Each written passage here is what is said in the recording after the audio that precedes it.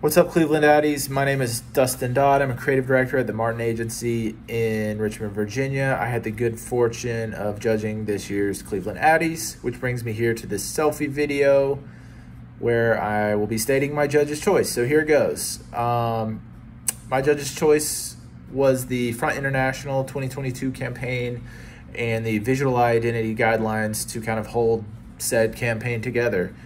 Um, I thought they were weird and wonderful but also very systematic and strategic at the same time. They kind of created a playbook for each piece of the museum's brand comms to kind of become a work of art unto itself, whether said piece of messaging was just a promotion for Front International or said piece of comms was a promotion for an artist or expedition within Front International.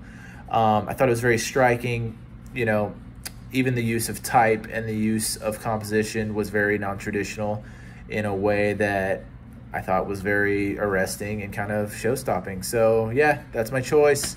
Um, hope everyone has a wonderful 2023. Bye.